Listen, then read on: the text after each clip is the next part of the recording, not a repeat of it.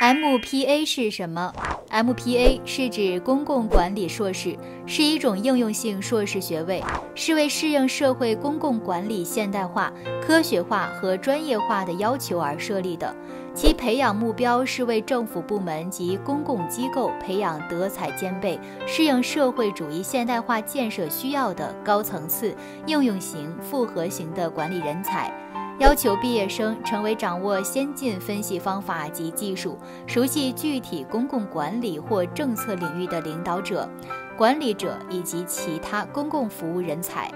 MPA 作为一种专业学位教育，从现有资料看，最早出现在美国。在百余年的发展历程中，公共部门，尤其是政府管理研究领域，经历了三次范式的变化。如今，在国外一些发达国家，MPA 和 MBA、LLM 教育已成为文科高层次职业研究生教育的三大支柱。